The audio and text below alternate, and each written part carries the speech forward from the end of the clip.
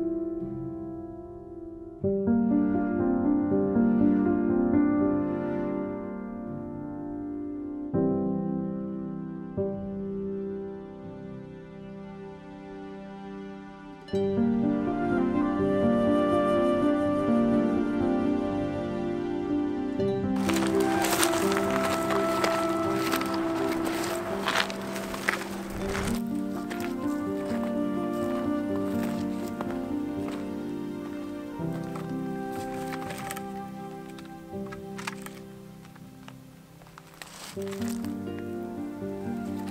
as I'm trying not to get, oh, already got one.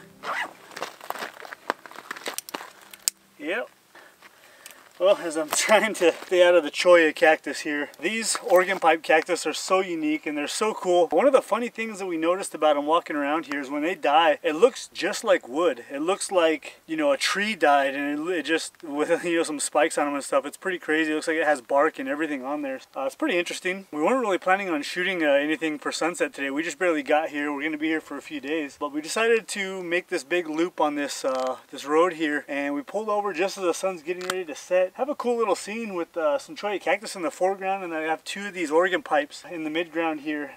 Got some clouds in the sky back there, might catch some color. Yeah, it's a really nice little scene here. If I, you know, figured I'm out here, might as well take a shot, even though I wasn't really planning on it. So it's a nice little warm-up shot, nice way to start the trip.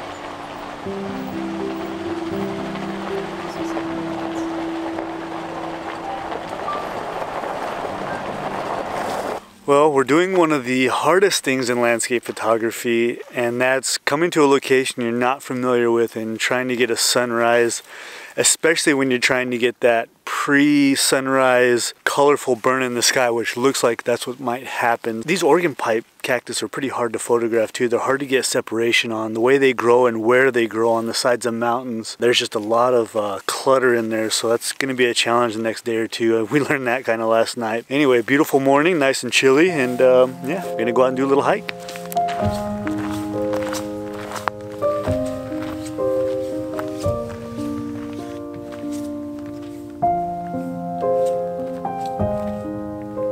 Having such a hard time where you see most of the organ pipe cactus are on the sides of rocky hills so it's such a steep slope and there's just no way to skyline them to get separation from the background because of the mountains that are behind it. We got about 20 minutes maybe 30 before the sun comes up. I walked up on this hill behind me here all the way from the backside all the way up and over. Now I'm down to a valley. I have one right here that's not too bad.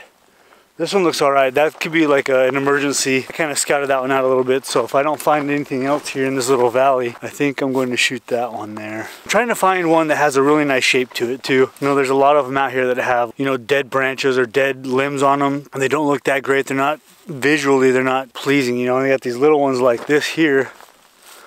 So it's really hard to find these big, nice, shaped ones. So I'm rushing back to that other, my backup, because I took a shot over here. I didn't like it so much. Got a big Ocotillo in the way. All right, we got enough uh, glow in the scene now. I think I'm ready to take the photo. It's a really nice shaped cactus. It's just not a big one. The good thing about this is it's almost completely isolated. There's a little bit of this hill in the background that kind of cuts it in half. And the hard part about these is these organ pipes, they start at the bottom, right? So you want to capture everything.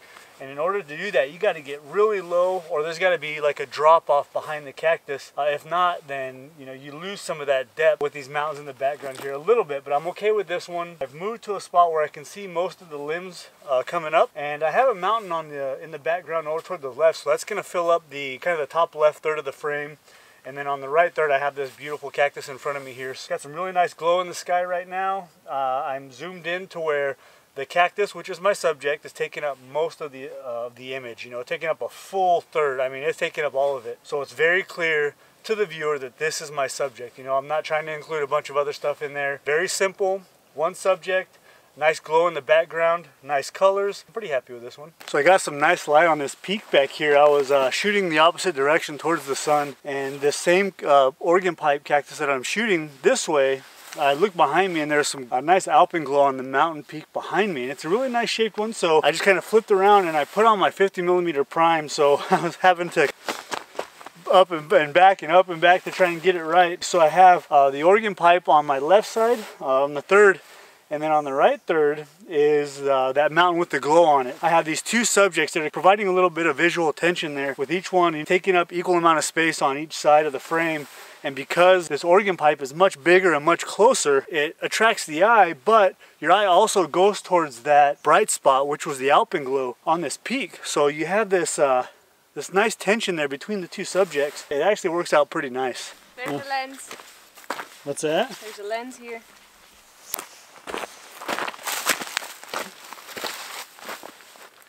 Let me just throw my brand new lens on the ground in a hurry. Well, that was a nice little uh, sunrise, man. That was uh, the good conditions. The subject was a little tough, and you know, one of the goals of this trip and, and every trip when I'm out here in the desert is trying to get one of these photos to make the book, you know, a candidate for the books. That's the goal. I don't know if I have that yet, but that's going to be one of the goals on this trip. So now it's time to head back to camp and make some second breakfast.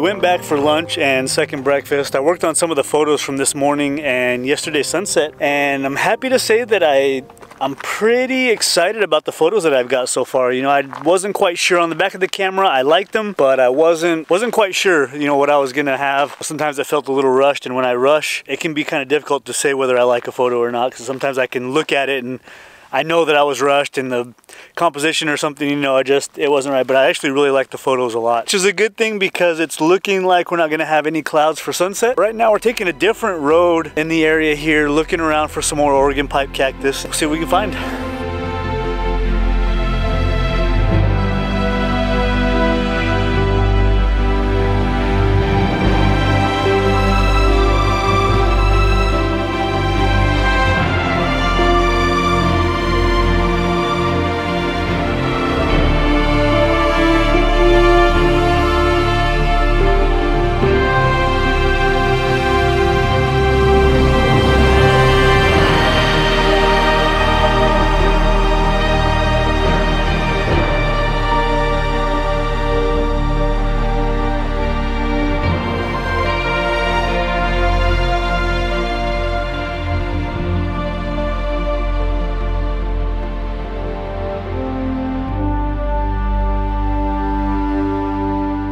What's up guys? So we just saw the time lapse on the back of the camera. I left my D850 out here in the park while we drove, you know, 40 minutes away to camp, which is nerve wracking. But I wanted to capture tonight was the last night of the kind of the apex of the meteor shower that's been happening here. I think I got a couple of uh, meteors in the shot, which is pretty cool. So we're back out here for our last morning. We got a big hillside over here with a bunch of cholla and a bunch of organ pipe cactus. So we're gonna try and find something to shoot here. We got no clouds in the sky, of course, but we're gonna try and make the best of it.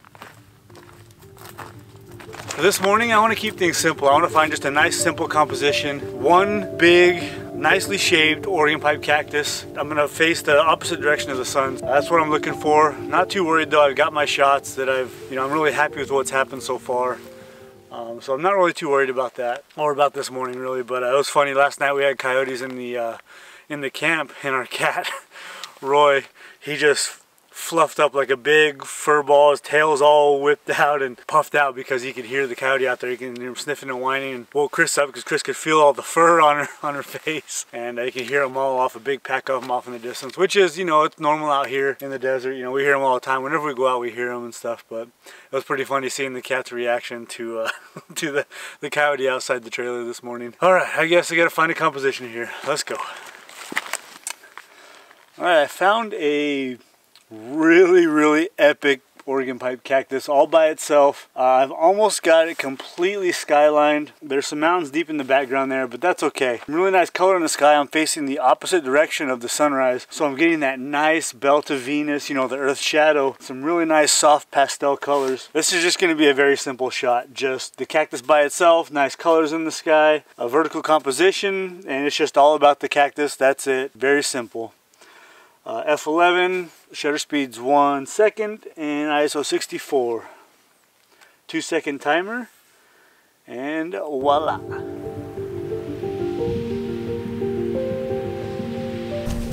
As you guys can see, I have my new Canon R5. It just came in a few days ago and I just started using it uh, two or three days ago so I'm still getting used to it that's probably the why I'm not talking so much to the camera I'm sorry about that but still trying to figure out how this uh, this beautiful beast works. Right here I was setting up on this slope and it's covered in teddy bear cholla cactus. Here were two uh, mountain peaks in the background and one of them is pretty cool. It looks like a witch's hat from some angles. I shot it before a few nights ago and I think it looks pretty good and I also now try to get a few different angles. I had one specific scene in mind that I saw just when we passed here by the road but um, I don't think it worked out but I tried my best. I'm also uh, shooting on one new lens, which is the uh, 24 to 70 2.8 for the wide angle lens and the telephoto lens. I'm still using the old EF lenses that I own. The one RF lenses that I'm looking at are not yet released or they're on back order. So